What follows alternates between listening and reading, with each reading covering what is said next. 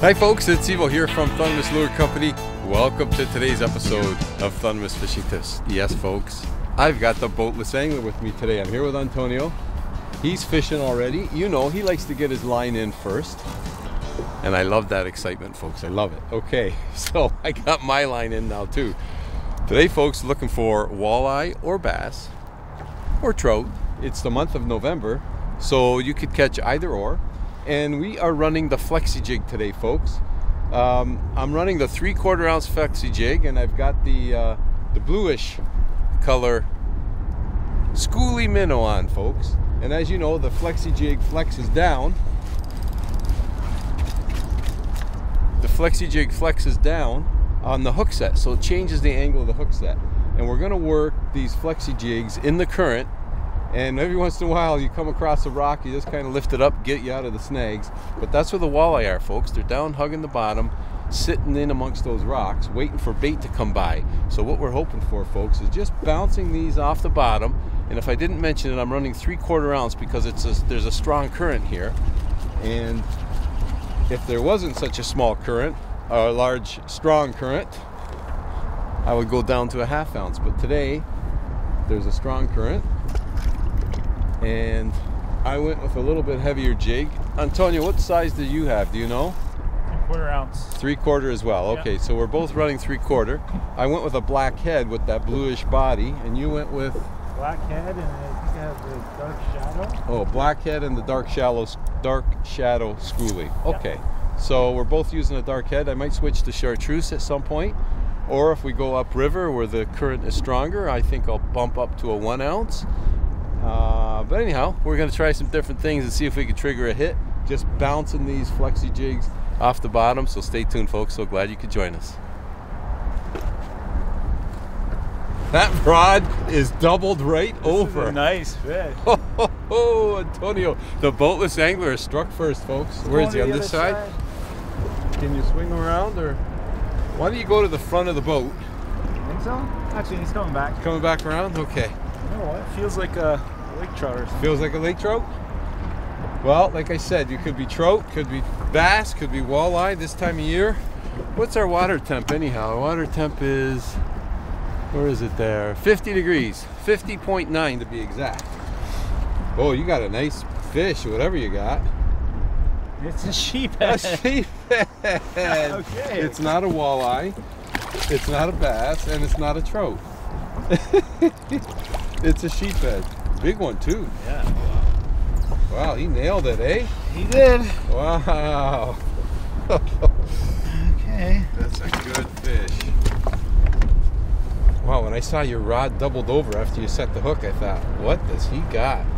I was not expecting this. I wouldn't be expecting a sheephead either. Pliers? Uh, yeah. Needle nose right here. Here you go. Hey, it's a start. Yeah. I wasn't expecting that either. I would have mentioned that. Let's take a look at him. Oh, it's a good, it's a good size sheephead. Look at that fish. Big fish, and they're powerful, eh? From fighting that current. I'm on the board. You're on the board, and I got a here.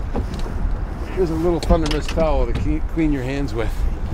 So he came out of 20 feet of water. That's a good sign though because where there's one, there's more, and if the sheephead are here, there's going to be other fish here too. Very nice. Okay, folks, looks like it's my time for a hit. He just picked it up. Another sheephead, maybe?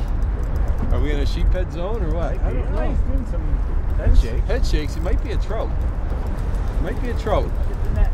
You get the net? It might be a nice trout, Antonio. So here's the thing, folks. When you're fishing the river, or when you're fishing a current system, you want to get down to the bottom as quickly as possible. So I'm running braided line, very, very thin thunder braid. And I also have a 10 pound fluorocarbon leader, which is also thin. So the line is getting down there quickly.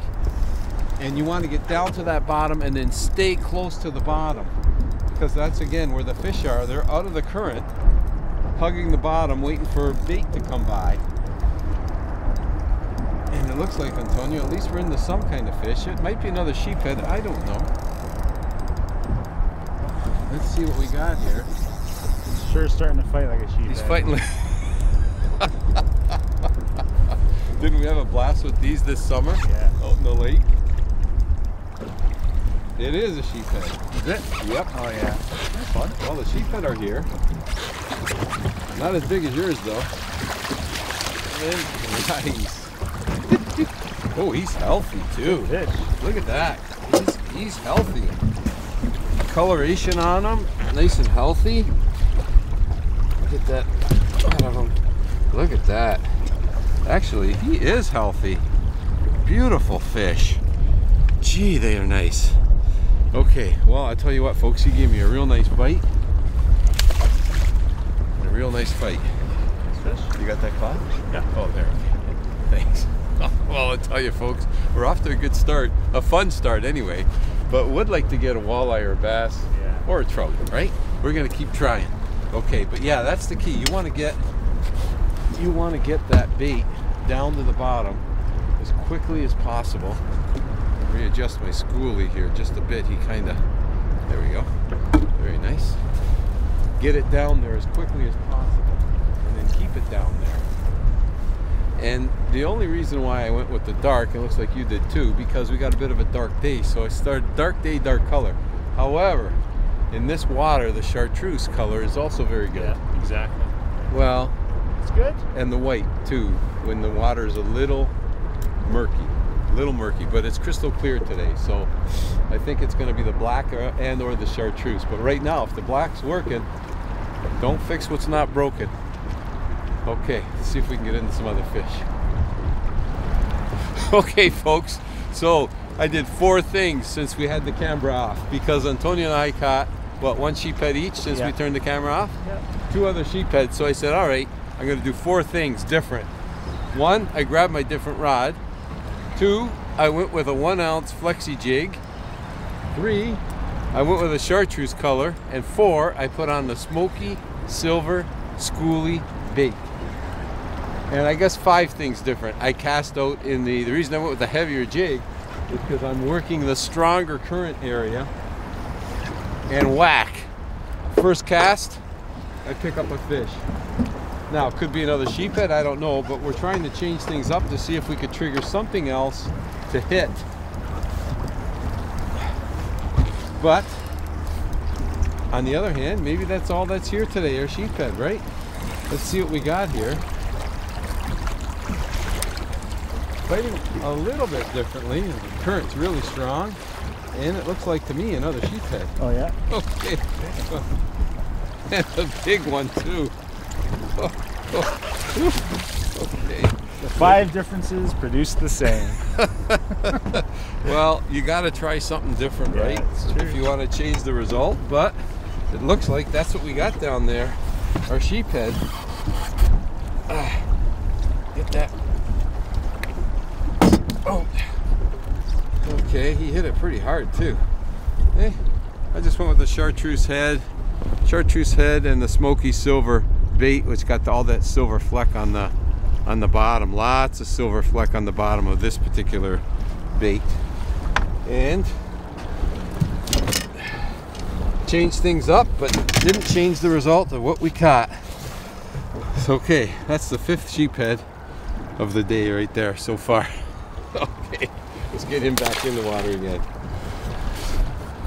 But you know what, folks? Maybe that's what we're gonna get here today. And I'll tell you what, that's perfectly fine because you know what? It's a lot of fun regardless.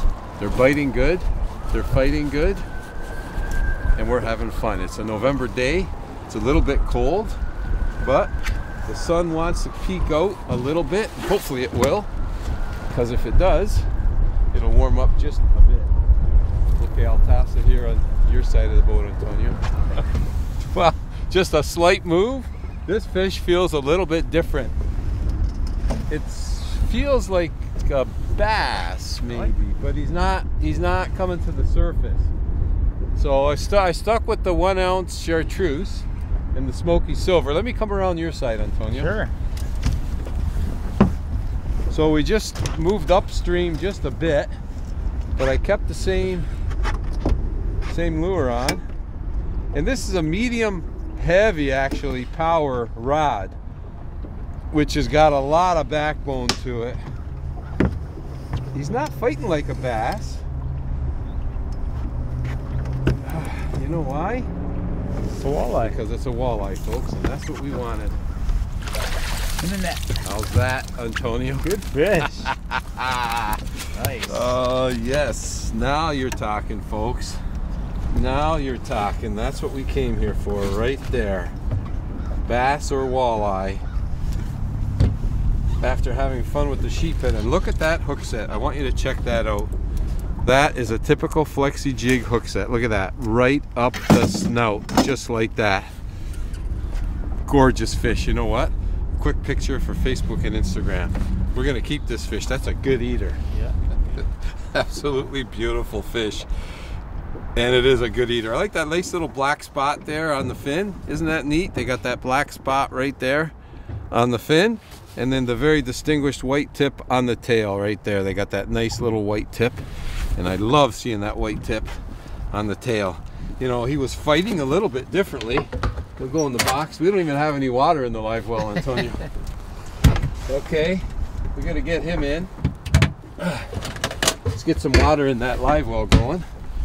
But he was fighting different. He's fighting different, kind of like a, kind of like a bass would be fighting. But then he wasn't jumping, so I'm thinking, hmm, I'm wondering if it's a walleye. And in fact, it was. Okay, so Antonio, a few changes, variety of fish. Hey, you gotta love that. Okay, get my line back in there again. We'll switch your spots. But you know what, folks? I got to tell you, working these jigs, it's a lot of fun. When you feel that little, just set the hook. Or if you see the line kind of twitch a little, just set the hook. Anytime you're jigging, you feel anything different, set the hook. And I'm hoping we're to set some more hooks. But you know what? We're already off to a fantastic start today, folks. It was a lot of fun catching those sheephead. And now we're into the walleye. Hopefully there's some more here. But I'm happy with the one. We got ourselves a nice lunch. Perfect. Hey, a fresh, nice- fresh fish fry and a nice lunch. All right. Well, folks, wherever you're tuning in from, I want to thank you for spending time with me and Antonio today on today's episode of Thundermist Fishing Tips. And as always, folks, until next time, good luck. Good fishing.